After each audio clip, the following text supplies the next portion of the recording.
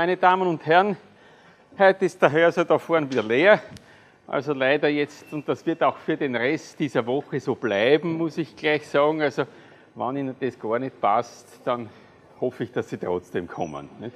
Also äh, wir haben ja gestern schon begonnen, äh, über die äh, Auswirkungen dieser experimentellen Befunde zu sprechen, die äh, Sie gestern gesehen haben.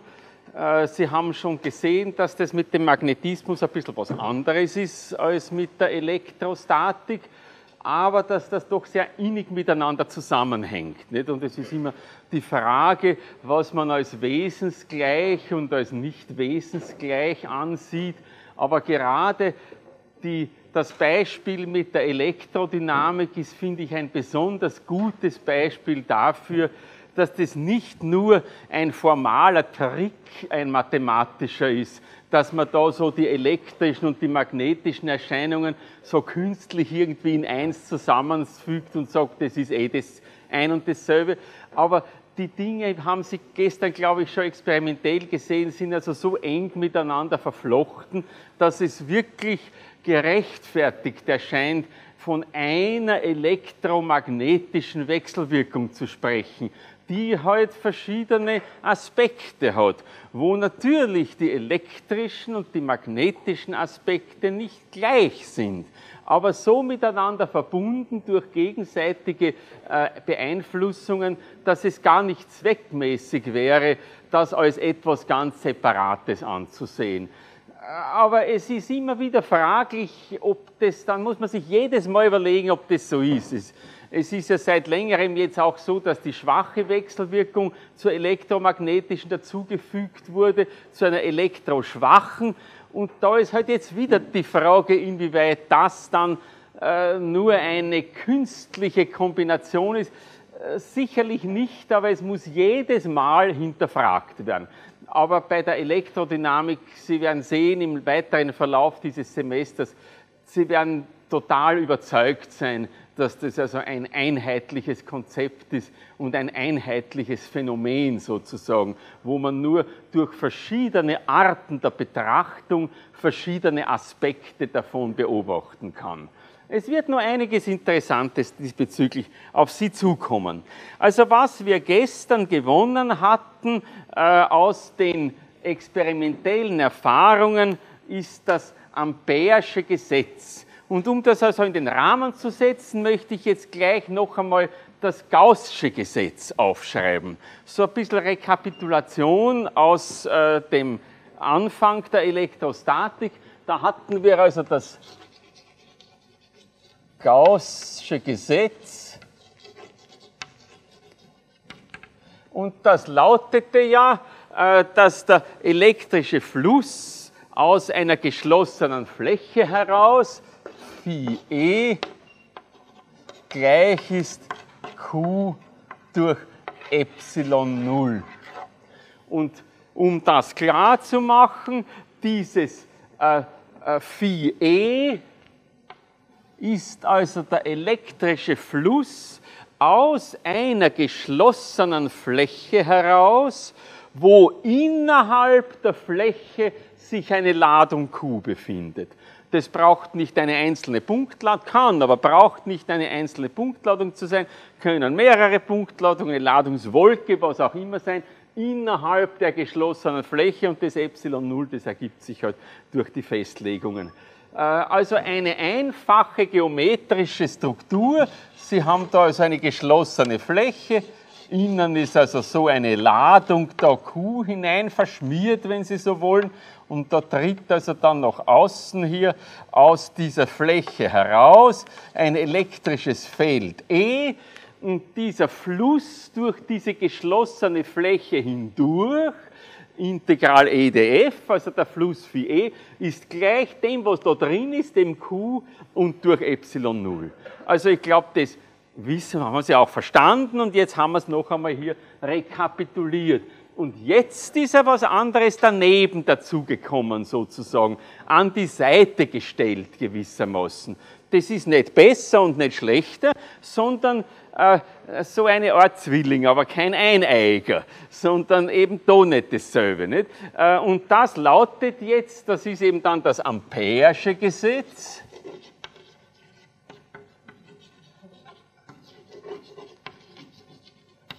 Und dieses Ampere'sche Gesetz schaut also recht ähnlich aus. Da heißt nicht Phi E, sondern UM. Und dieses UM ist dann nichts anderes als ein Strom I. Und genauso wie beim Gaußschen Gesetz ist es hier wieder wichtig, sich klar zu machen, was da steht. Um was es geht, ist hier jetzt eine magnetische Spannung und nicht ein elektrischer Fluss. Ein Fluss ist immer durch eine Fläche, ein Flächenintegral von dem betrachteten Vektorfeld, da ist es halt E, E-Pfeil df, durch die Fläche hindurch, in dem Fall durch eine geschlossene Fläche hindurch. Und bei dem UM ist es also ähnlich wie bei der elektrischen Spannung ein Lienienintegral wieder über ein äh, entsprechendes Magnet, ein entsprechendes Vektorfeld, in dem Fall das Feld der äh, magnetischen Flussdichte B-Pfeil. Und zwar geht es hier um eine geschlossene Kurve, durch die hindurch ein Strom I fließt. Damit das irgendwie gleichartig wird, mache ich das jetzt so der fließt dadurch. Es geht um bewegte Ladungen. Und diese Kurve umfasst diesen Stromfluss. So wie die Fläche die Ladung einschließt, ist es wie ein Gürtel sozusagen, der diesen Stromfluss umfasst. Es kann dann außen Anstrom geben, der interessiert uns nicht. Es interessiert uns der Strom, der durch diese von dieser Kurve eingeschlossene Fläche hindurchtritt. Diese Geometrie ist das Entscheidende, damit Sie das verstehen. Und dieses UM ist jetzt die, äh, äh, die, äh, das Linienintegral des B-Feldes, das da so jetzt im Wesentlichen so wirbelförmig um, dieses, äh, um diesen Strom herum sich ausbildet. Das ist ja die Eigenschaft die sich aus dem, äh, aus dem Örstedschen Versuch ergibt. Ein Strom umgibt sich mit einem magnetischen Feldwirbel, dem entspricht da von einer Ladung treten elektrische Felder aus. Da umgibt sich der Strom mit einem Feldwirbel und dieses UM ist das Linienintegral längs dieser Gürtellinie sozusagen, die den Stromfluss einschließt. Und das ist aber hier gleich, und da ist nicht einmal ein μ0 oder irgendwas dabei, das liegt an der Definition von dem B. Äh, das ist einfach gleich dem Strom, der da durchtritt. So wie das der Fluss einfach gleich ist der Ladung da drin, da kommt noch dieses Epsilon 0 dazu.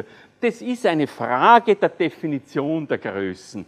Man kann die Elektrodynamik so verschiedenartig stylen gewissermaßen. Äh, und ich glaube, so eine einheitliche, ein einheitlich stylische Elektrodynamik, die so wirklich total perfekt ist, gibt es vielleicht gar nicht.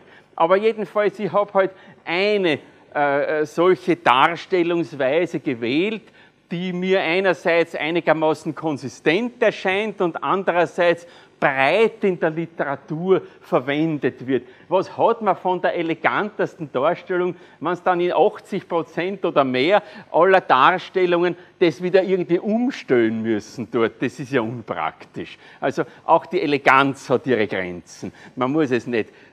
Gut. Also wir machen das jetzt hier so. Und da sehen Sie also schon, die Geometrie dieser Situation ist gänzlich anders. Wir haben zum Beispiel hier nicht gesagt, ein Strom erzeugt ein magnetisches Feld. Weil das Erzeugen, das hat so irgendwie das mit drin, dass das dann wo rauskommt gewissermaßen. Bei dem elektrischen Feld haben wir dezidiert gesagt, die Ladungen sind die Quellen des elektrischen Feldes. Das kommt da echt raus, das quillt heraus, eine Quelle, da quillt etwas. Nicht? Während das Magnetfeld da, das quillt nicht heraus, sondern das entsteht rundherum. Der Strom umgibt sich damit. Aber wenn ich sage, er erzeugt, dann hat man so das Gefühl, aus dem Strom kommt dieses Magnetfeld heraus. Das quillt aber nicht, wie wir dann in weiterer Folge gleich noch genauer besprechen werden. Das ist ein ganz wichtiger Unterschied, deswegen betone ich das so. Hier liegen die entscheidenden Unterschiede, warum diese zwei Sachen keine Eineigenzwillinge sind, sondern eben nebeneinander stehen und was Unterschiedliches sind. Sie sehen ja auch die Unterschiedlichkeit in der Dimensionalität. Da wird über eine Fläche integriert, da wird längs einer Kurve integriert. Aber es ist doch ähnlich, weil da ist es eine geschlossene Fläche und da ist es eine geschlossene Kurve. Und da sagen wir, in der geschlossenen Fläche ist was drin und da sagen wir, durch die geschlossene Kurve tritt was durch. Also ich glaube, das ist alles schon recht klar und anschaulich, aber es muss Ihnen auch bewusst sein, obwohl das also so unterschiedliche Gesetze sind, dass sie doch andererseits sehr ähnlich sind. Und dass man das, schreit direkt danach, dass man das irgendwie noch, sagen wir wieder bei der Eleganz, eleganter und einheitlicher darstellen kann. Und das gelingt dann mit der vierdimensionalen Tensorschreibweise der Elektrodynamik. Das hört sich jetzt entsetzlich an. Ist aber total schön, wenn man einmal weiß, es ist wieder eine Sprache, die man lernen muss. Nicht? Äh, und das kriegen sie dann in der, in der theoretischen Elektrodynamik spätestens. Und ich war damals auch begeistert, wie ich das also äh, damals gelernt habe. Also wird Ihnen auch gefallen. Aber das machen wir hier bewusst nicht, weil der Tensorformalismus erfordert doch eine zusätzliche Einführung kann nicht von Ihnen allen verlangen, dass Sie sich jetzt so detailliert mit den Tensoren auseinandersetzen. Es reicht schon dieser Trägheitstensor, aber das ist eh harmlos. Das ist dann schon ein bisschen was anderes in der Elektrodynamik und vierdimensional kann sich eh kein Mensch vorstellen. Also das schieben wir auf auf einen späteren Zeitpunkt, das hören Sie woanders. Aber da kommt dann schon heraus, dass man diese Dinge in eine geschlossene, einheitliche Form bringen kann und die zeigt dann noch deutlicher, wie eng elektrische und magnetische Felder miteinander verwoben sind. Gestatten Sie mir einen diesbezüglichen Kommentar noch. Wir haben ja jetzt kennengelernt, dass die elektrischen Felder durch das E-Feld beschrieben werden und gestern haben wir angefangen darüber zu reden, dass magnetische Felder durch das B-Feld beschrieben werden. Da gibt es also dann E-Vektoren und B-Vektoren.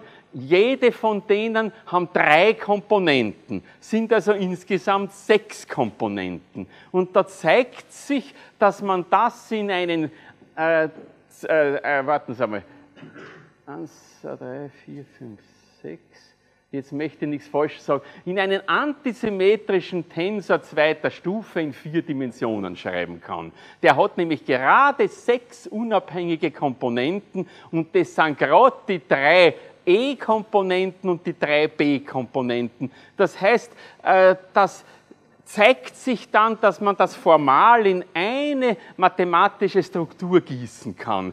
Dennoch finde ich, dass es von der Anschaulichkeit her wichtig ist, die Dinge einigermaßen separat zu behandeln, zumindest am Anfang, weil Sie haben ja gesehen, es sind ganz andere äh, experimentelle Befunde, die da jeweils dargestellt werden. Es ist nur dann so, dass sich das also in wunderbarer Weise sehr konsistent zusammenfassen lässt. Mehr möchte ich dazu jetzt gar nicht sagen, aber Ihnen so ein bisschen einen Ausblick geben, wie toll man das dann noch weiter verarbeiten kann. So, also so viel der Rückblick und jetzt wollen wir also weitergehen. Diese beiden Gesetze sind also integrale Gesetze. Das Gaußsche Gesetz bezieht sich auf eine äh, makroskopische geschlossene Fläche, die heute halt eine bestimmte Ladung umschließt das Ampere'sche Gesetz auf eine makroskopische geschlossene Kurve, die einen Strom umfasst. Also beides integrale Gesetze und sowohl der Fluss als auch diese magnetische Spannung sind eben integrale ein Flächenintegral und ein Linienintegral. Und jetzt, äh, ähnlich wie wir das beim Gaußschen Gesetz äh, gemacht haben, wollen wir auch dieses äh, Ampere'sche Gesetz in eine differenzielle Form bringen. Mir fällt aber noch was Kleines zwischendurch ein. Entschuldigen Sie, dass ich noch einen Einwurf mache. Etwas später werden wir dann auch ein amperisches Kraftgesetz kennenlernen. Das ist durchaus was anderes. Das behandelt dann die Wechselwirkung, die tatsächliche Kraftwechselwirkung zwischen zwei stromdurchflossenen Leitern und wo man dann wirklich einen Anschluss an die Mechanik finden kann. Äh, und nachdem der Ampere so viel mit Strömen gearbeitet hat, hat man ihm also in mehrfacher Weise da zu ewiger äh, Bekanntheit verholfen. Einmal die Stromeinheit und dann das Ampere'sche Gesetz und das Ampere'sche Kraftgesetz. Also das ganz schön, wenn man es so weit bringt, nicht? dass man also an drei Stellen im Sachregister vorkommt und nicht nur im Namensregister. Nicht? Das ist schon was. Gut, also jetzt also Übergang zur differenziellen Darstellung.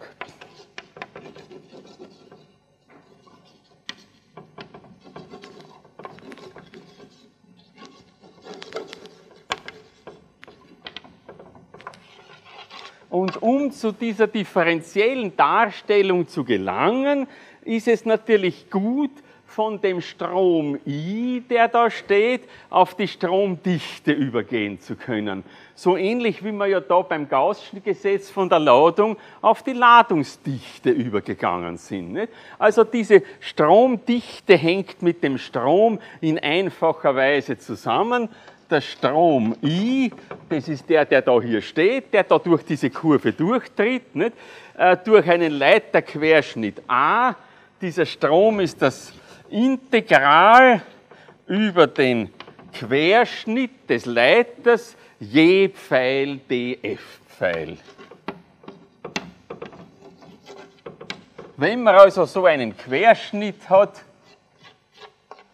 mit Fläche A, durch den da der Strom hindurchtritt mit Stromdichte-Vektoren je.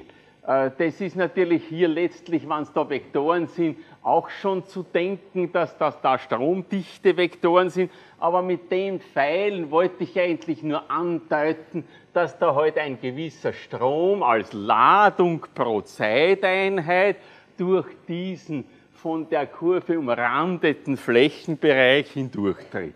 Aber jetzt wollen wir das eben konkreter fassen und da haben wir dann diese Vektoren jetzt wirklich festgelegt als stromdichte Vektoren. Naja, und jetzt kommt es also darauf an, so einen Zusammenhang zwischen dem Je einerseits und dem B äh, des äh, Magnetfeldes, das durch diesen äh, Strom hervorgerufen wird, darzustellen. Also einen Zusammenhang von Je-Pfeil und B-Pfeil. Und das sind beides differenzielle Größen. Das, während also die, der Strom, das ist ein Integral über diese ganze Querschnittsfläche, wie ich gerade aufgeschrieben habe, nicht? Integral JDF. Äh, und äh, während aber die Stromdichte, die ist jedem Punkt im Raum zugeordnet und ist dort halt jeweils der, äh, der Strom pro senkrechte Querschnittsflächeneinheit. Und das braucht ja auch nicht überall dasselbe sein. Wo steht denn geschrieben, dass das da homogen alles durchtritt? Da sind es vielleicht innen stärker und außen, habe das eh angedeutet, da ist vielleicht fast nichts mehr und so. Das kann man natürlich dadurch einwandfrei darstellen, indem man eben von der Stromdichte ausgeht, wo an jedem Punkt dann festgelegt ist, wie, dort, wie groß dort eben die Stromdichte ist. Also so äh, kann man das Je verwenden und das B natürlich ist ja auch klarerweise als Vektorfeld jedem Punkt zugeordnet. Das heißt, da haben wir dann zwei differenzielle Größen. Naja, und da schauen wir halt jetzt nach, was wir da aus dem Ampere'schen Gesetz insbesondere gewinnen können. Gemäß Ampere-Gesetz erhalten wir also, nachdem das UM gleich ist, äh, können wir einmal schreiben, also das UM ist gleich, wenn wir da das i gleich einsetzen, Integral über a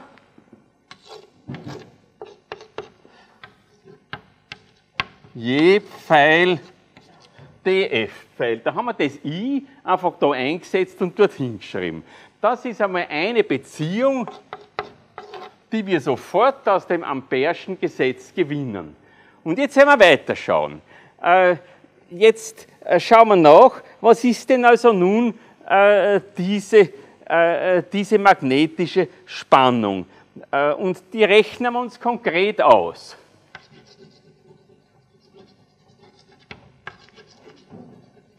Gemäß ihrer Definition das ist jetzt eigentlich keine neue Physik da hier, das ist die Physik, die steckt im Ampere'schen Gesetz. Während die magnetische Spannung, das ist ja nur eine Definition. Also schreiben wir das noch einmal auf.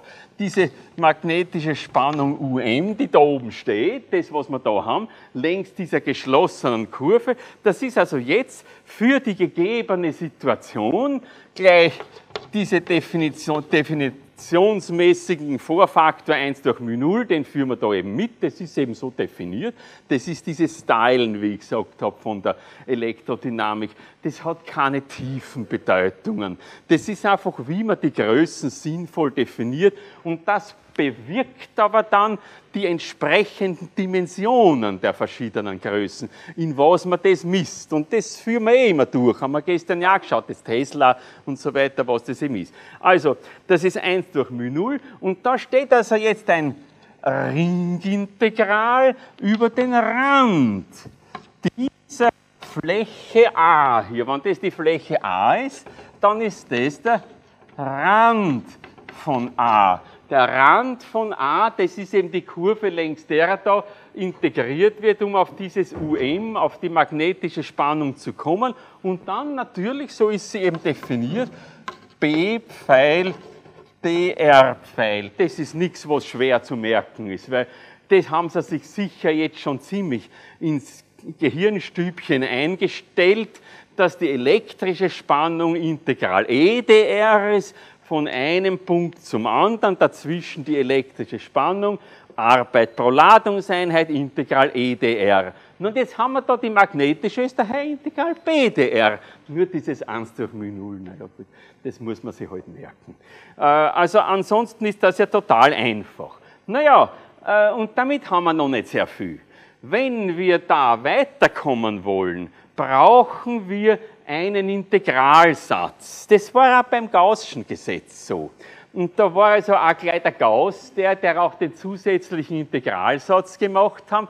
Da ist es aber nicht so, dass das jetzt der Ampere'sche Integralsatz ist, sondern da hat wer anderer mitgewirkt. Ist ja auch gut, nicht? Der Stokes'sche Integralsatz. Und obwohl Sie den wahrscheinlich schon kennengelernt haben beim Kollegen Delago, schadet es nicht, glaube ich, wenn ich ihn noch einmal aufschreibe, äh, auch weil damit dann es noch klarer wird, wie man die sich ergebende differenzielle Beziehung dann interpretieren soll. Weil das haben Sie ja schon gesehen, das Um und Auf ist, dass man die Formeln nicht nur kennt und sieht, sondern auch weiß, was sie bedeuten dann erst haben sie es wirklich verstanden. Und dann können sie erst was anfangen damit. Eine Formel, die da steht und wie man halt irgendwie rechnet, aber man weiß eigentlich gar nicht wieso und was, ist ja eigentlich ein Trauerspiel. Nicht? Also sowas sollte Ihnen nicht passieren, wenn Sie also professionelle Physiker oder Astronomen und Theologen, was wir da so alles erinnern haben, werden wollen. Nicht? Das, das ist die Professionalität, dass man weiß, womit man es zu tun hat und nicht irgendwelche auswendig gelernte Gesatzeln da hat, äh, wo man sich immer als Outsider fühlt. Sie wollen ja drin sein, dabei sein. Es ist ihres. Sie sollen das ja weiterführen. Also, da braucht man jetzt den sogenannten Stokeschen Integralsatz. Und den schreibe ich jetzt einmal auf. Der Stokesche Satz. Das ist eigentlich ein Gaußscher Satz in einer anderen Dimension. Es lautet, dass das Flächenintegral, da schreibe ich heute halt zwei Integralzeichen, wie immer, weil es ein Flächenintegral ist, Rotation B-Pfeil, df-Pfeil kann man darstellen als ein Linienintegral längs des geschlossenen Randes der Fläche A, also das ist ja was Eindeutiges, B Pfeil dr-Pfeil. Warum ist das interessant? Weil man sich, wenn man sowas anwenden kann, Arbeit ersparen kann. Es ist ja immer schön, dass man möglichst ökonomisch vorgehen kann. Ein Flächenintegral, da muss man zweimal integrieren. Bei einem Linienintegral muss man nur einmal integrieren. Wenn man also da ein, ein Vektorfeld hat in der Form Rotation eines anderen Vektorfeldes, dann hurra, kann man sich also die ganze Flächenintegriererei ersparen, sondern braucht nur längs des Randes dieser Fläche ein Linienintegral BDR machen und über den restlichen Verlauf der Fläche dazwischen braucht man sich gar keine Gedanken machen. Also zweifellos ist das ein Vorteil, wenn das so ist. Witzigerweise werden es wir aber jetzt in der Gegenrichtung verwenden, weil dieses Integralrand von A, B, dr, das steht ja da, das werden wir jetzt durch das hier ersetzen. Schaut so ein bisschen wie, äh, wie äh, Masochismus aus, nicht, dass man sich das antut. Aber Sie werden gleich sehen, in dem konkreten Fall ist das also was sehr Praktisches. Aber damit man das also auch wirklich gut und geschlossen alles versteht, schreibe ich auch noch dazu, wie dieses Rotation von B-Pfeil auch definiert ist. Das ist jetzt natürlich ein bisschen komplizierter als beim Gaußschen Satz, denn da kommt eine Divergenz vor. Und die Divergenz ist ein Skalar. Das heißt, da braucht man nur eine Größe hinschreiben. Divergenz V-Pfeil ist dv1 nach dx1 plus dv2 nach dx2 plus dv3 nach dx3 und aus. Na, bei der Rotation ist es ein bisschen unangenehmer, wenn Sie so wollen, weil das ist ein Vektor. Naja, wir haben ja da auch letzten Endes eine andere Situation. Nicht? Daher ist es also hier ein Vektor. Und dieser Vektor hat daher drei Komponenten, daher muss man drei so Größen aufschreiben. Und ich schreibe da, ich will da jetzt nicht eine Vektoranalysis für Sie machen, dazu haben wir nicht die Zeit und das ist auch gar nicht notwendig, aber zumindest, dass man also sieht, um was es hier geht und dass das Ganze geschlossen zusammenhängt, dass Sie nicht sagen müssen, was uns der heute erzählt hat, ich habe keine Ahnung. Also Sie wissen dann, wie man das auch ausrechnet was auch für die Übungen natürlich wichtig ist. Nicht? Da haben wir also dB3 nach dx2 nach dx2 minus dB2 nach dx3. Das ist die erste Komponente. Die zweite ist dB1 nach dx3 minus dB dB3 nach dx1. Und die dritte ist dann dB2 nach dx1 minus dB1 nach dx2. Das lässt sich auch mit dem Nabla-Operator und meinem Vektorprodukt und so weiter darstellen. Auf das lasse ich mir jetzt gar nicht ein. Das wissen Sie vielleicht eh alles und wenn nicht, macht es jetzt auch nichts. Wesentlich ist nur, Sie haben jetzt, also Sie sehen anhand dieser Formel, so eine Rotation ist nichts Mystisches. Wenn Sie ein Vektorfeld haben, zum Beispiel eben das Vektorfeld der magnetischen Flussdichte, dann ist natürlich klar, dass Sie drei Komponenten B1, B2, B3 haben, die jede eine Ortsfunktion sind. Na logisch, beim E-Feld ist es ja auch nicht anders. E1, E2, E3, lauter Ortsfunktionen. Und alles, was Sie machen, ist, Sie machen entsprechend dieser Vorschrift daher die äh, partiellen Ableitungen und kriegen damit diesen Vektor mit der Komponente 1, 2 und 3 heraus und dann haben Sie die Rotation und fertig. Wir kommen noch etwas später jetzt gleich auch noch ein bisschen mehr darauf zu sprechen, was die geometrisch anschauliche Bedeutung von der Rotation ist, so wie wir ja auch im Zusammenhang mit dem Gaußschen Gesetz vor etlichen Wochen ja auch dann anschließend an den Gaußschen Integralsatz äh, dann auch äh, gefunden haben, die geometrische anschauliche Bedeutung der Divergenz. Divergenz und Rotation und dann auch Gradient, der spielt jetzt da nicht so sehr die, die wichtige Rolle. Die drei sind einfach für die Darstellung der Physik von eminenter Bedeutung, sagen wir so. Sie haben dieses, dieses mathematische Konzept hat sich blendend bewährt für die Beschreibung einer Vielzahl von physikalischen äh, Gegebenheiten und daher wäre es ja Dummheit, wenn man sich dessen dann nicht bedienen würde und dem vielleicht sogar äh, aus dem Weg geht, wenn man sich denkt, das fange ich mir gar nicht an. Das dürfen sie nicht machen, dass sie denken, ach was, ich komme schon ohne das durch. Sie kommen nicht ohne das durch. Und je später sie reinhupfen, desto schlechter geht es ihnen. Also machen sie das gleich, das ist das Allerbeste.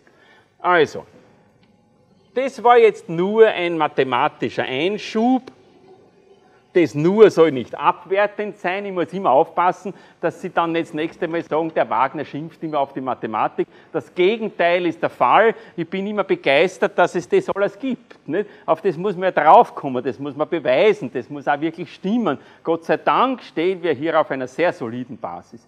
Aber es ist nur in dem Sinn, dass da keine neuen physikalischen Gesetzmäßigkeiten drinnen sind, sondern es ist einfach eine sehr geschickte Umformung die wir jetzt verwenden können, um das, was wir da jetzt erhalten haben für die magnetische Spannung, entsprechend neu äh, äh, formulieren zu können. Wir erhalten damit nämlich, und das setzt jetzt gleich unmittelbar da an, denn da drunter kommt ja nichts mehr, nicht? Ja, da war nur dieses UM, dass wir dieses UM also noch anders schreiben können. Nämlich, wir können also schreiben, dieses UM ist gleich nur das 1 durch μ0, an dem ändert sich nichts. Aber anstatt dieses Ringintegrals über den Rand von a, b, dr, das ist ja eh schon so schön hergeschrieben, dass man es nur nehmen braucht. Nicht? Schreiben wir also das Flächenintegral über die ganze Fläche. a, Rotation b, df.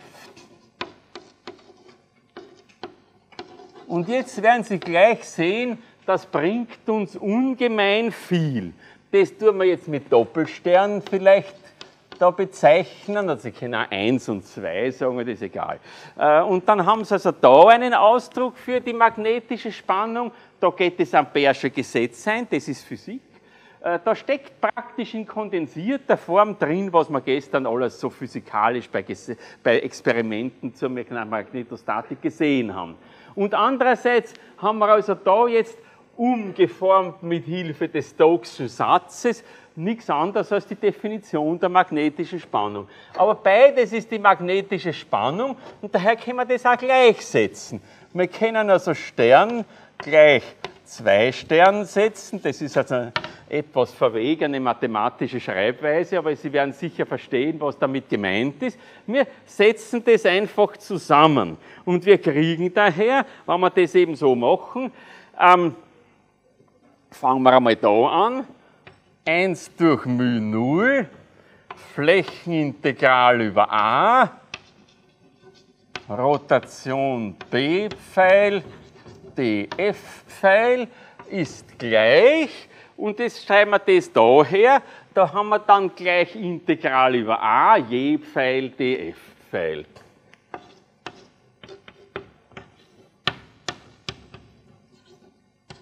Na, und das schaut natürlich eigentlich recht vielversprechend aus. Nicht?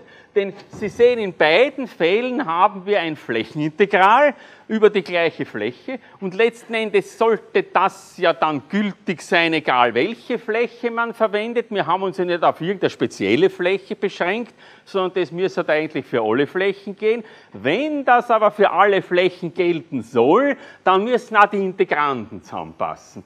Jedenfalls, wenn die Integranten äh, zusammenstimmen, dann werden sicher auch alle Integrale über welche Flächen auch immer wieder dasselbe liefern. Also schauen wir nach, wenn wir die Integranten gleichsetzen. Also haben wir 1 durch μ0, das können wir reinziehen. Rotation b-Pfeil ist gleich je-Pfeil. Oder, na, das μ0 auf die andere Seite, kriegen wir Rotation b-Pfeil ist gleich μ0 mal je-Pfeil. Und das, meine Damen und Herren, ist jetzt das Pendant zu einer schon vorhandenen Gleichung, also vorhanden sind sie alle schon, aber Ihnen bekannten Gleichung, nämlich die Divergenz E war gleich Rho durch Epsilon 0. Das brauche ich jetzt nicht nochmal aufschreiben, das erinnern Sie sich sicher. Diese äh, Maxwell-Gleichung die also sozusagen die äh, Elektrostatik schon beherrscht hat, aber die auch weiterhin gültig bleibt. Jetzt haben wir da was entsprechendes für die äh, Magnetostatik.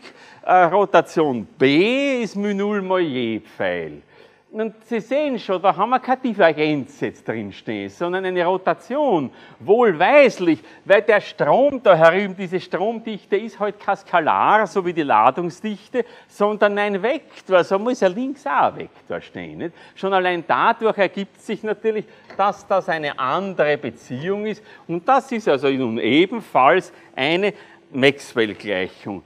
Wieder eine, wie wir sagen, inhomogene Maxwell-Gleichung. Gestatten Sie mir diesen Kürzel MXGL, weil das ist ja so allgegenwärtig in der Elektrodynamik, die Maxwell-Gleichungen, dass man der Maxwell wird einverstanden sein, wenn man nur mit MX abkürzt. Das zeigte mir nur, wenn er jetzt gerade oben schaut, dass wir so mit ihm vertraut sind, dass wir seinen Namen gar nicht ausschreiben brauchen. Also eine inhomogene Maxwell-Gleichung. Und was bedeutet inhomogen? Weil auf der rechten Seite nicht Null steht.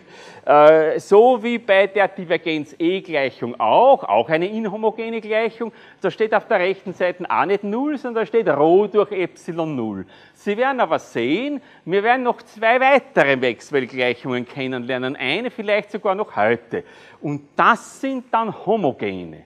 Das heißt, die Ladungsdichten und die Stromdichten, die in einem System vorherrschen, die kommen nur in zwei Maxwell-Gleichungen vor.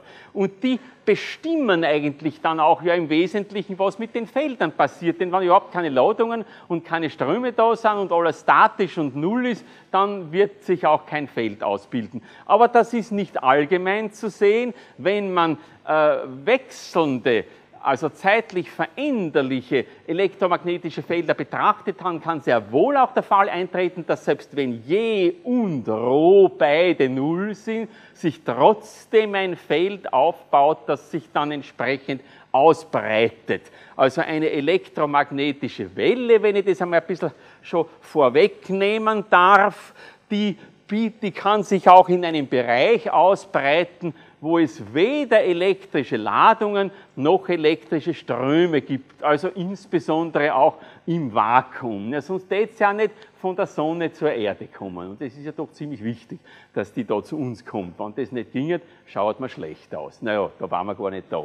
Also sie kommt und deswegen geht es. Und das geht auch ohne, dass da zwischen der Sonne und der Erde in dem dazwischenliegenden Raum Ladungen und Ströme sind. Aber jetzt sind wir ja bei der Magnetostatik und damit sie da was tut, braucht man wirklich einen Strom. Wenn man bei dem, äh, bei dem Ørsted-Versuch den Strom ausschaltet, dann ist auch das Feld weg. Nicht? Also das kann man ja schon sich klar machen. Ich muss an dieser Stelle auch noch etwas erwähnen, und zwar, während sich zeigt, dass die Divergenz E gleich Rho durch Epsilon 0 schon eine fertige Maxwell-Gleichung ist, zu der nichts mehr kommt, wird sich hier zeigen, der fällt noch was. Und was der fällt, zu dem kommen wir später. Aber für unsere magnetostatischen Anwendungen, wo also zeitliche Ableitungen des magnetischen Feldes keine Rolle spielen, reicht das. Aber ich schreibe dazu statisch. Und das bedeutet, das wird noch einen weiteren Term geben da, der dann auftritt, wenn man zeitlich veränderliche Felder betrachtet, insbesondere zeitlich veränderliche elektrische Felder. Und das ist also dann ein besonderer Höhepunkt bei der Elektrodynamik, dass man auf das draufgekommen ist. Äh, aber den hebe ich mir noch auf. Nicht? Also das muss ja dramaturgisch aufgebaut sein. Außerdem, das geht jetzt noch gar nicht. Da fehlt noch einiges. Das kommt schon alles zur Zeit. Äh, wir machen das alles Schritt für Schritt. Also während die äh, Divergenz-E-Gleichung, die ist schon okay, die noch nicht, das sollten Sie schon notieren, da kommt noch was. Aber für unsere jetzigen statischen Anwendungen reicht das. Und man kann also auch jetzt schon sagen, diese Gleichung, so wie sie da hier steht, sagt ja im Wesentlichen aus, die Stromdichte ist irgendwas des magnetischen Feldes, so wie die Ladungsdichte die Quelldichte des elektrischen Feldes ist. Jetzt muss man natürlich wissen, was ist dieses Rotation B?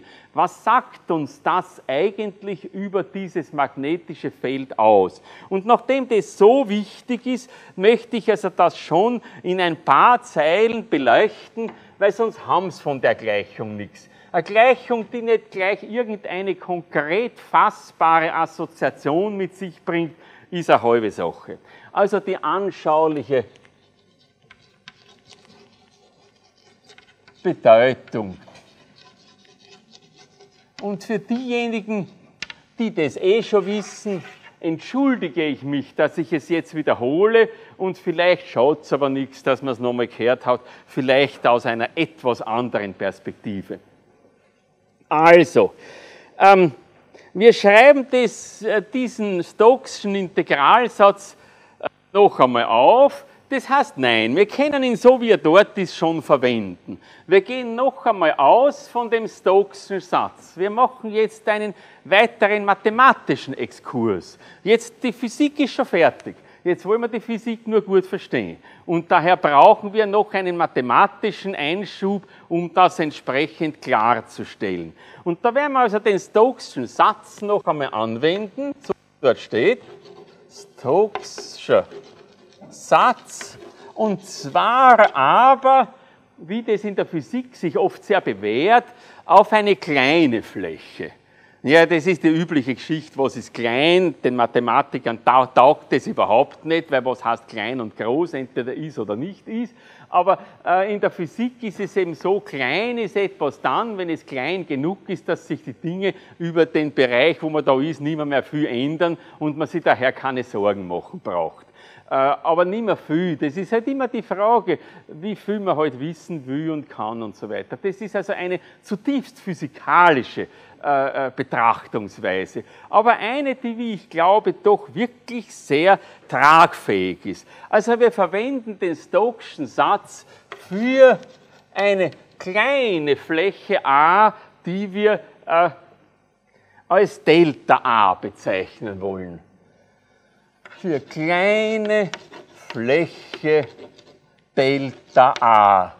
Delta, das ist meistens so ein Ausdruck dafür, dass was klar ist. Nicht? Das ist eine Differenz von Größen oder so irgendetwas. Aber äh, da geht es jetzt nicht wirklich um eine Differenz, sondern es soll einfach eine kleine Fläche sein. Das hat sich so eingebürgert als Schreibweise. Wenn was klein soll, so schreibt man es oft als Delta A. Und wenn man das also aufschreibt, dann kriegt man also äh, einmal äh, dieses Integralrotation BDF über dieses Delta A, aber da ist jetzt schon zu beachten, wenn diese Fläche A klein genug gewählt wird, sodass dieses Rotation B, das ja selber ein Vektorfeld ist, sich nicht mehr besonders viel ändert über den Bereich dieser Fläche Delta A, dann ist ja das praktisch ein konstanter Summand, äh, eine konstante Funktion dann kann man das ja vor das Integral setzen und es bleibt nur mehr das Integral über a, über Delta a df-Pfeil und das ist einfach Delta a. Also das heißt, anders gesagt, ganz allgemein wird man ein solches Integral so definieren, dass man diese Fläche in lauter so kleine Teilflächen zerlegt, die man dann oft Delta a nennt, viele, viele solche kleine Flächerln da, so Quadrateln oder irgendwie, und dann macht man also Rotation B mal Delta A Pfeil, die Flächenvektoren, summiert über die ganze Fläche A auf und hat dann eben das Flächenintegral. Das ist ja, glaube ich, bekannt. Gibt es dazu irgendwelche Unklarheiten? Na, das Jetzt habe ich so blöd gefragt, dass ich keiner sagen traut. Äh, aber trotzdem, ich glaube, das wissen Sie. Und wenn aber jetzt dieses a klein genug ist, dann braucht man sich das gar nicht mehr antun mit dieser Aufteilung in noch kleinere Flächen. Weil es ist eh schon das Rotation B praktisch konstant und man macht ja diese Aufteilung in lauter so kleine Quadrateln nur dann, wenn eben die Größe, über die integriert wird, sich deutlich ändert über den ganzen Bereich A, um den es geht. Wenn sich das eh praktisch nicht ändert, weil der Bereich klein genug ist, dann ist es schon genug, dieses eine Delta A schon als ein solches Flächenelement zu betrachten und weniger als das braucht man gar nicht mehr, mehr. Es ist genau genug. Oder sagen wir so, man kann das A immer klein genug wählen, dass es dann so ist. Und letztlich betrachtet man dann einen Limes und dann ist sowieso kein Problem. Also wir können diesen linken Teil dieser Gleichung einfach schreiben als Rotation äh, B mal Delta A-Pfeil. Rotation B-Pfeil mal Delta A-Pfeil. Wenn dieses Delta A-Pfeil also eben der Flächenvektor der kleinen Fläche Delta A ist. Ja? Die ist klar genug, die ist nicht mehr groß gekrümmt oder so, das ist ein kleines Flächerl und senkrecht drauf ist der Flächenvektor. Nicht? Also das ist dieser linke Teil mit dem Flächenintegral. Wenn das Fläche klein genug ist, kann man das Rotation rausholen und das Flächenintegral degeneriert einfach zu diesem Delta A-Pfeil. Und auf der anderen Seite, das lassen wir einfach stehen. Da steht dann also das Ringintegral über den Rand von dieser kleinen Fläche Delta A und da haben wir dann natürlich eben Rotation B, äh, B-Pfeil, DR-Pfeil. So schaut es aus. Naja, und jetzt sehen Sie aber, da steht also so ein äh, Skalarprodukt von Rotation B und von Delta A. Und das, was hier steht, das ist nichts anderes als die Zirkulation des Feldes B-Pfeil, Zirkulation von B-Pfeil um diese Fläche Delta A herum. Ja, also wenn zum Beispiel meine Handfläche so ein Flächenelement Delta A ist und da geht also so der B-Vektor so rundherum, dann kann man da so eine Zirkulation B DR machen. Längs der Randkurve, Rand meiner Handfläche. Die ist klein genug jetzt für unsere Anwendungen, dass man das als ein kleines Delta A betrachten kann. Und das Delta A-Pfeil steht da senkrecht drauf und die Länge von dem Vektor ist gleich die Größe meiner Handfläche. Also ich glaube, das kann man sich ja vorstellen.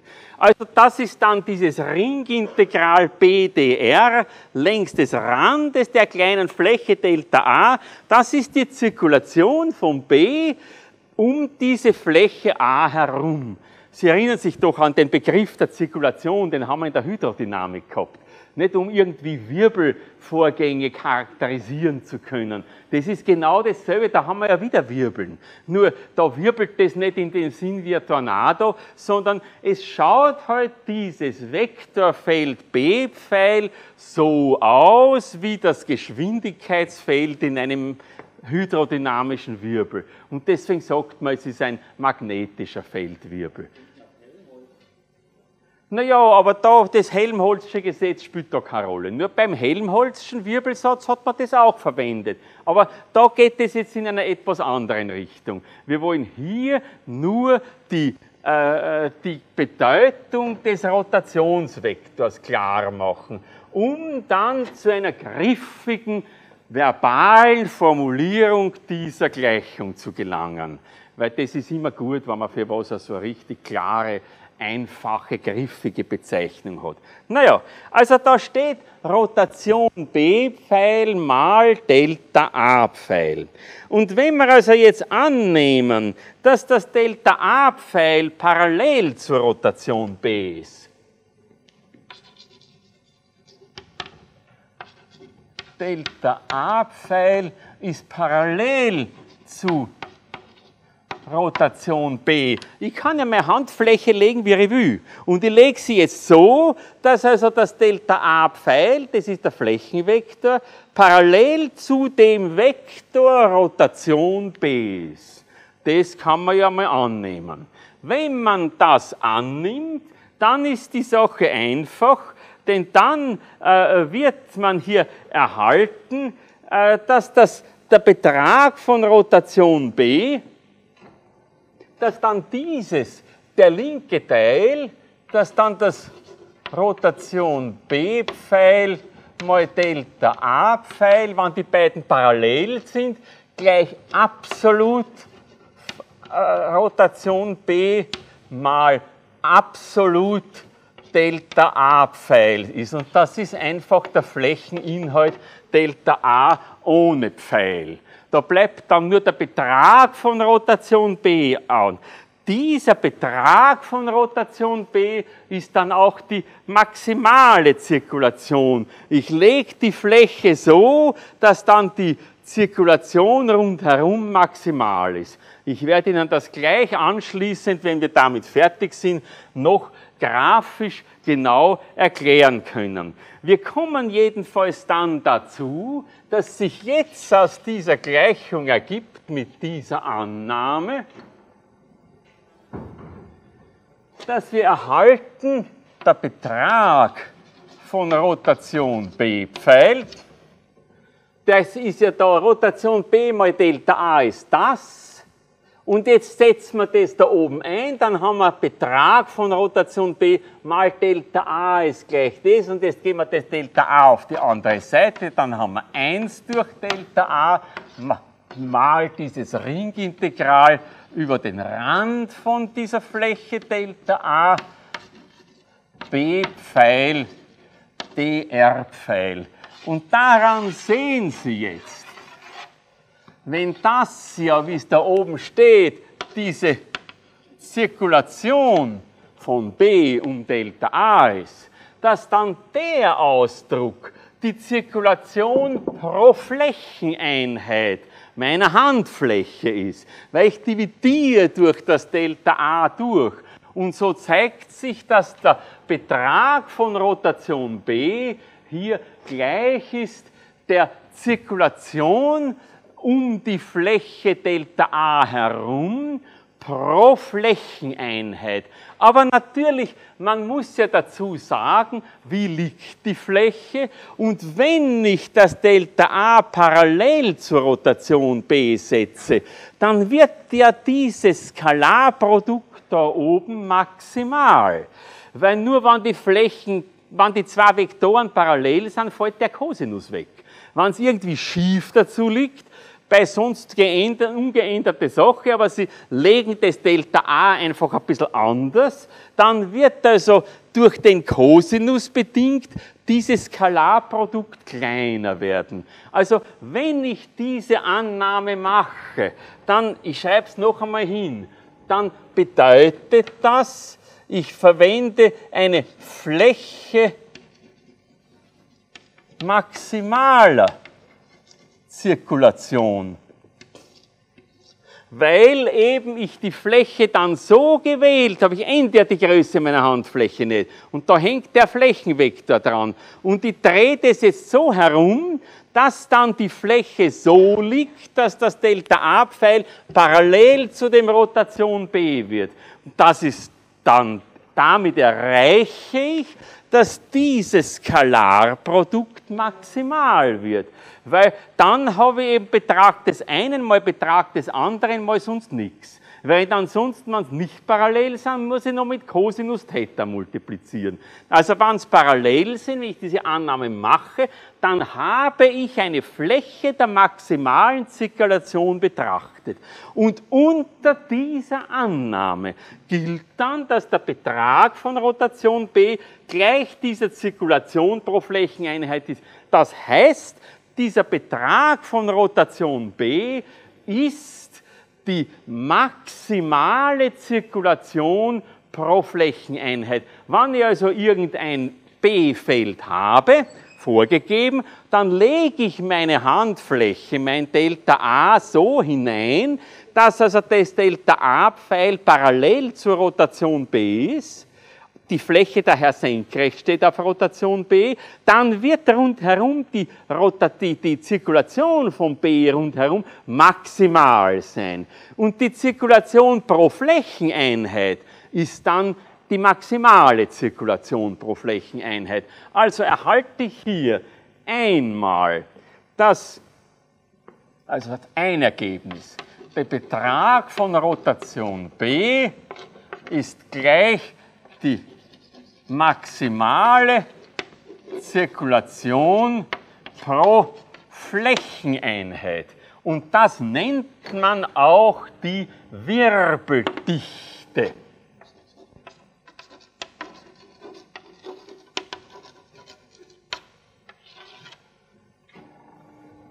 Bei der Divergenz haben wir gesagt, das ist die Quelldichte. Aber das will ich jetzt nicht formulieren, weil sonst bringe ich es jetzt so viel durcheinander.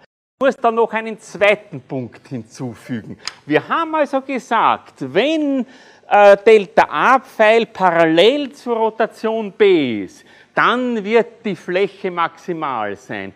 Was heißt das aber, wenn ich es jetzt umgekehrt formuliere? Es muss also die Fläche so gelegt werden, dass sie senkrecht auf Rotation B steht, dass der Flächenvektor parallel zur Rotation B steht. Dann ist die Zirkulation von B rund um die Fläche maximal. Das heißt aber im Klartext, hören Sie zu, dass die Richtung von Rotation B senkrecht auf die Fläche der maximalen Zirkulation steht.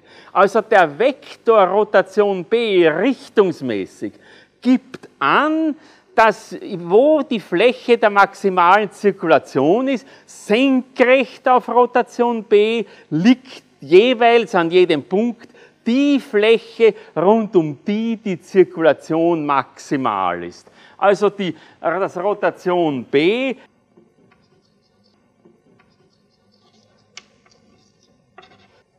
steht senkrecht auf die Fläche der maximalen Zirkulation. Und jetzt gilt beides zusammen als die Interpretation des Rotationsvektors. Also, wenn man ein Vektorfeld vorgibt, das Vektorfeld B-Pfeil, ergibt sich durch diesen Stromfluss, Ampere'sches Gesetz und so weiter. Man hat ein, so ein Wirbelfeld B-Pfeil, einen magnetischen Feldwirbel, der einen Stromfluss, mit dem sich der Stromfluss umgibt. Dann wird der Vektorrotation B-Pfeil senkrecht stehen auf eine Fläche rund um die herum die Zirkulation dieses vorgegebenen B-Feldes maximal ist. Und der Betrag von Rotation B gibt jetzt auch tatsächlich diese maximale Zirkulation pro Flächeneinheit an und das nennt man die Wirbeldichte. Und mathematisch gesehen gilt das alles im Limes, Delta A immer kleiner werden, zusammenschrumpfend auf einen Raumpunkt. Also wir Physiker hören dann irgendwann zum Schrumpfen auf und das ist dann das kleine Flächerl und fertig. Also wenn man weit genug geht, kommt man immer beliebig nahe an das heran und das reicht uns schon. Und das möchte ich Ihnen aber jetzt auch noch einmal äh, grafisch darstellen, weil ich meine und glaube, also der Begriff des Rotationsvektors, der ist immer am Anfang ein schwierigerer Vektor als die anderen. Divergenz, das versteht man relativ bald. Da quillt was heraus und das pro Volumenseinheit hat man das. Aber bei der Rotation ist das also etwas schwieriger und deswegen möchte ich das auch noch veranschaulichen. Damit Sie wirklich ein grafisches Bild vor Augen haben und sich tatsächlich was vorstellen können. Na, da will ich rauf. Legen wir jetzt den Stromfluss einmal senkrecht. Sagen wir, der geht da so herunter, der Strom. Wir haben da stromdichte Vektoren je Pfeil.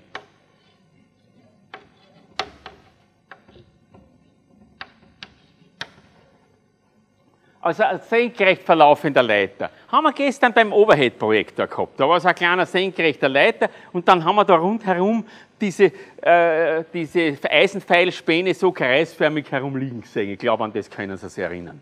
Na, das haben wir jetzt hier wieder.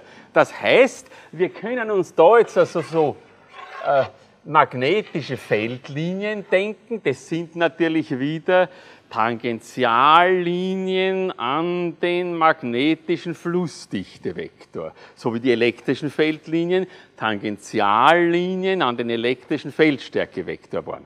Also da haben wir solche Tangentiallinien und da liegen also da so äh, diese Feldvektoren, in welche Richtung, nein, ich zeige es anders herum, damit das auch schön zusammenpasst. Die liegen also jetzt da so hinten und dann vorne da so herum zeigen also da an, wie das magnetische Feld da rundherum verläuft.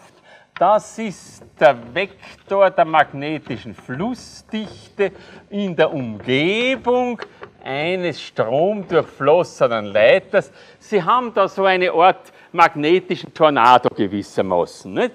Äh, so wie einen Wirbel halt, da geht der Strom durch äh, und da rundherum haben Sie halt hier da diese Vektoren B-Pfeil. Und jetzt haben wir da einmal die Richtung von Rotation B ist senkrecht um eine Fläche der maximalen Zirkulation. Und jetzt schauen Sie sich das an, meine Damen und Herren. Wenn ich da, denken Sie sich, das ist wirklich dreidimensional. Da ist also dieser Tornado, dieser magnetische Wirbel. Nicht? Und da kann ich jetzt in verschiedener Weise eine, meine Handfläche hineinlegen. Das ist das Delta A wieder. Angenommen, ich lege so hinein und da geht also so halbert heraus, halbert in der Tafel dieser Tornado herum na dann werden da alle diese B-Vektoren senkrecht auf die Randlinie stehen. Das B-Pfeil, Delta R-Pfeil wird ganze Zeit Null sein. Es gibt gar keine Zirkulation. Das wird wohl nicht die Fläche der maximalen Zirkulation sein. Haben Sie eine Idee, wie sie liegen muss, die Fläche der maximalen Zirkulation?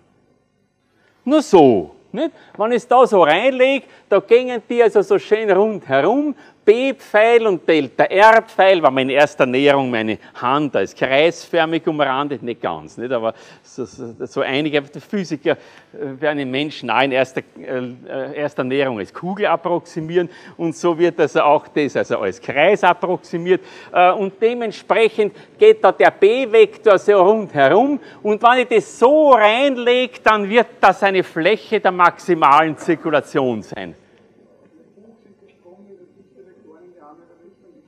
Ja, äh, das ist schon wahr. Aber ich möchte mit einer noch nicht besprochenen äh, äh, Schraubenregel konsistent sein und mache das jetzt so. In der zweiten Auflage geht der Strom auch in der Richtung hinunter. Spielt aber hier nicht wirklich eine Rolle, nur im Sinn der Konsistenz mit späteren. Also hier, das ist eine Fläche der maximalen Zirkulation. Ja, Achso, Sie wollen gar nichts. Ja, ja, gut, gut ich habe mir gedacht, Sie zeigen auf. Äh, naja, und jetzt, dann frage ich Sie, Sie kennen sich ja eh schon einigermaßen aus, glaube ich. Wie wird denn dann der Vektor Rotation B liegen, in welcher Richtung? Ganz was dort drüben steht. Rotation B senkrecht auf die Fläche der maximalen Zirkulation. Nur wenn die Fläche der maximalen Zirkulation so liegt, dann ist der Rotationsvektor wieder senkrecht darauf. Das heißt, der liegt parallel, wenn Sie so wollen, zur Wirbelachse dieses Vektorfeldes B-Pfeil. Das heißt, diese Rotation B-Vektor wird dann etwa, das zeichne ich jetzt rot ein, damit es so wichtig ist, nicht? der Rotation B-Vektor wird da so herunter zeigen überall. Und auch da oben, nicht? das ist der Rotation B-Vektor. Und man kann dann auch sogenannte Wirbellinien definieren. Ja? Wir haben gerade gesagt, die Feldlinien, auch beim magnetischen Feld, sind Tangentiallinien an den Vektor der magnetischen Flussdichte B.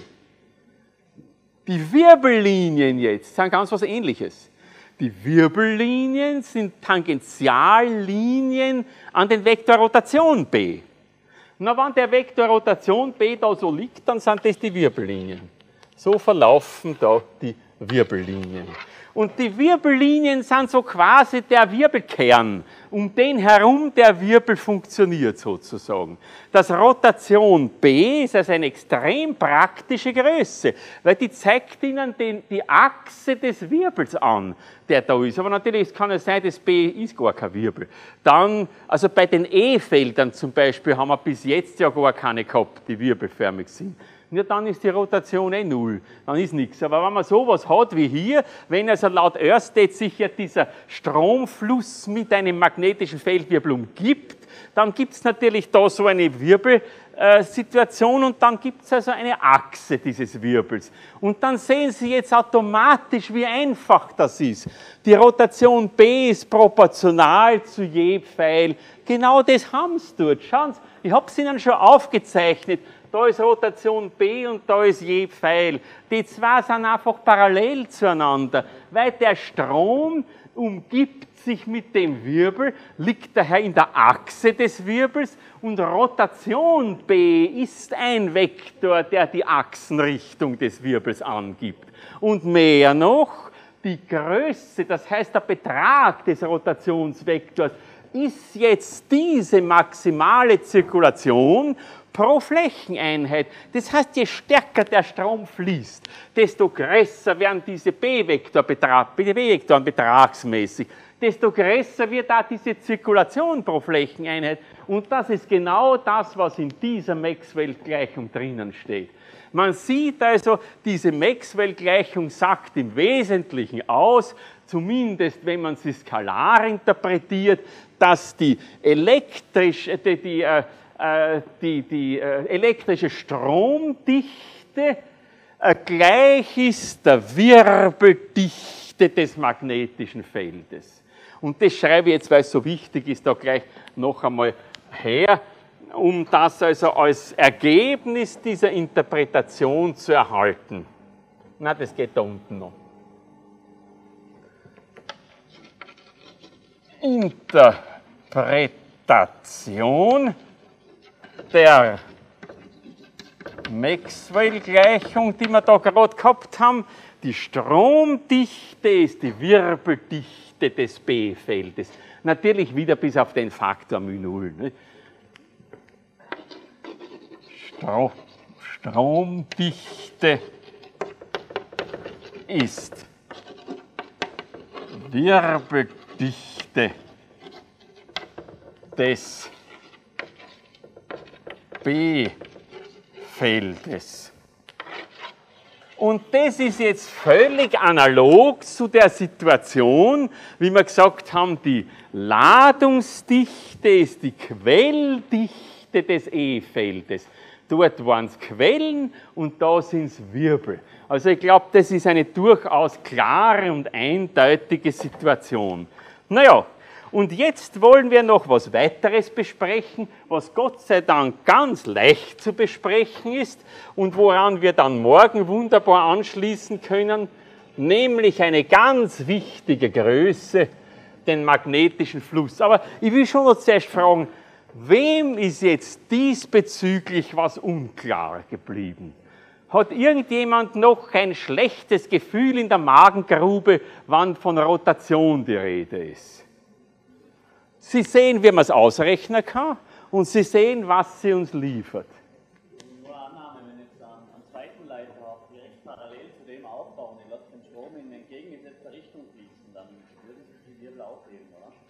Die Frage ist, wenn man einen zweiten Leiter mit einem Strom in der Gegenrichtung hat, was dann passiert, der, wenn der gleiche Strom fließt, die Leiter praktisch an der gleichen Stelle sind, dann werden sich die Magnetfelder kompensieren und sie werden gar kein Magnetfeld haben. Ganz klar.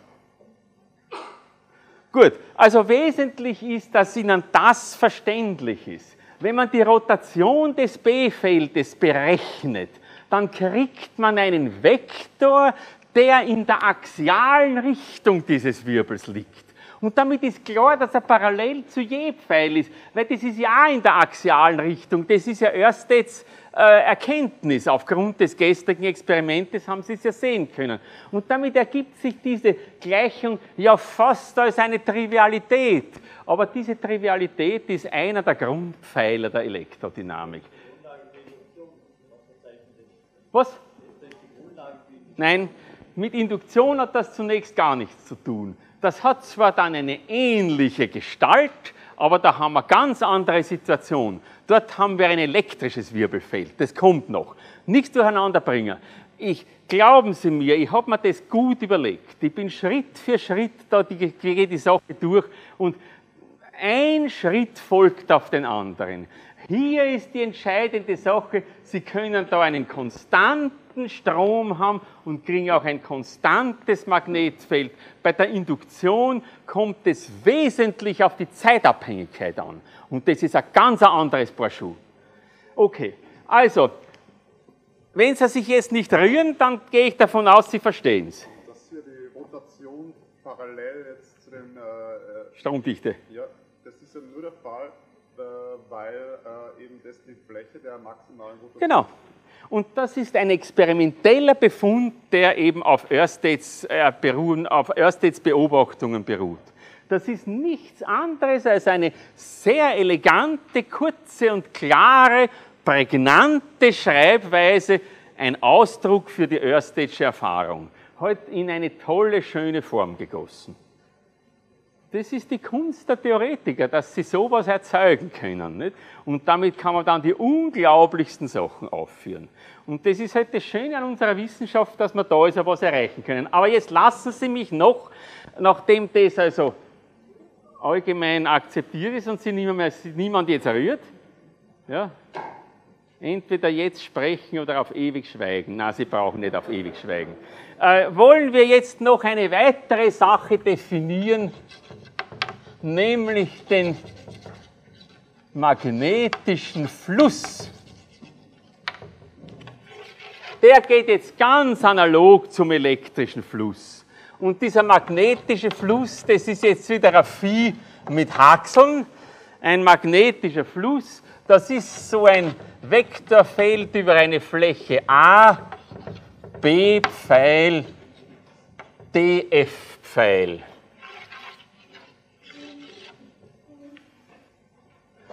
Ganz ähnlich wie der elektrische Fluss. Und warum? Wenn das so ist, dann sehen Sie gleich, man kann das B-Pfeil da drin daher als Flussdichte auffassen. Deswegen nennen wir auch B-Pfeil die magnetische Flussdichte. Sie sehen sofort, dass die Dimension dieses magnetischen Flusses sofort ausgerechnet werden kann, weil der äh, Vektor B hat die Dimension Volt Sekunden pro Quadratmeter. Das hatten wir uns, glaube ich, gestern, ja, gestern überlegt gehabt aufgrund der einfachen Beziehungen und das muss man jetzt mit der Fläche in Quadratmeter multiplizieren. Daher ist das einfach die Größe Volt Sekunden äh, und das nennen wir Weber. Ein Göttinger Physiker, der gemeinsam mit Gauss sehr viel zur Elektrodynamik äh, beigetragen hat. Und da sehen Sie schon, das nennt man manchmal auch die Polstärke. Das kommt nur aus den alten Zeiten, wo man sich nicht davon lösen wollte, dass es auch magnetische Pole gibt, einzelne.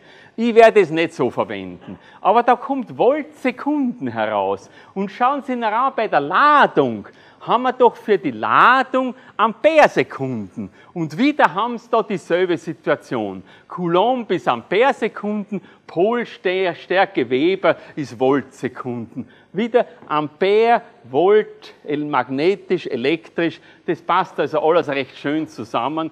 Das ist eine sehr konsistente Sache. Also wir haben hier den magnetischen Fluss eingeführt.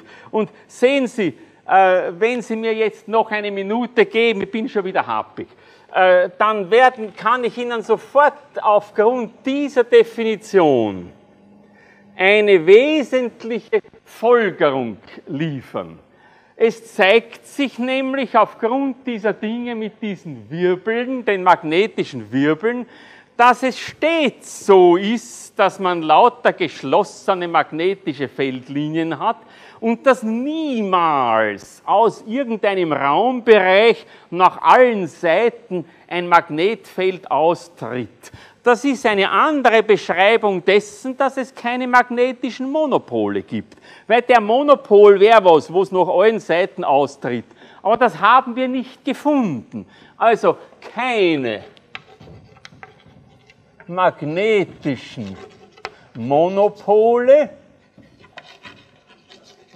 nicht Monopole, sondern Monopole, also keine magnetischen Monopole, folgt, äh, dass äh, nur geschlossene Feldlinien sind. und nie netto, wo aus einem Raumbereich etwas auf, austritt. Und das bedeutet aber jetzt klarerweise, dass der magnetische Fluss aus einem Volumen heraus Folgerung der magnetische Fluss phi m aus einem geschlossenen Volumen heraus. Das ist also dann, so haben wir ihn allgemein definiert, aber wenn es aus einem geschlossenen Volumen heraus ist, dann haben wir so einen, äh, ein Ringintegral über eine geschlossene Fläche a, b-Pfeil, df-Pfeil, dass das stets gleich Null ist. Und wenn das stets gleich Null ist, und das ist auch ein experimenteller Befund, das ist ja nur experimentell, dass wir heute keine Monopole gefunden haben. Sonst hätten wir es ja gefunden. Und vielleicht finden wir es einmal, aber bis jetzt haben wir sie nicht gefunden. Ist also eben dieser Fluss, den wir gerade da definiert haben, aus einer geschlossenen Fläche heraus immer gleich Null. Na, und diesen Fluss, Integral b df, der lässt sich jetzt laut dem Gaußschen Satz, den Sie schon kennen, umformen in ein dreifaches Integral über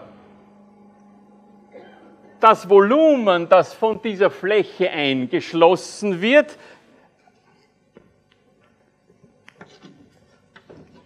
Divergenz B dv umformen. Und wenn das eben ständig für jedes beliebige Volumen gleich Null sein soll, dann muss die Divergenz B gleich Null sein. Und die Folgerung daraus, und damit bin ich schon wieder fertig für heute,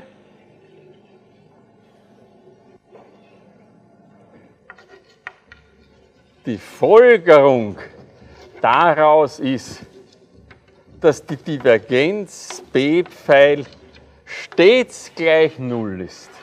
Und wir haben eine weitere Maxwell-Gleichung gewonnen.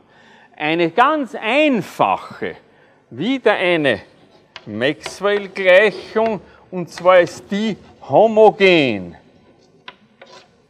Und wir werden noch eine weitere kennenlernen. Die ist dann das Induktionsgesetz. Also wir haben heute zwei Maxwell-Gleichungen kennengelernt. Einerseits die, die den Inhalt des Earth-Station-Experimentes darstellt, wo dann herauskommt, Interpretation steht hier, die Stromdichte ist die Wirbeldichte des B-Feldes. Und diese Gleichung bedeutet, das B-Feld ist stets quellfrei.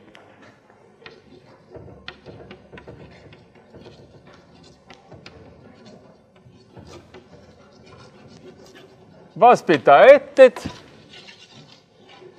dass es keine magnetischen Monopole gibt. Und damit haben wir zwei ganz wichtige experimentelle Befunde, in zwei ebenso wichtige Gleichungen gegossen. Und jetzt kommt es darauf an, was wir damit machen können. Und damit Schluss für heute. Danke.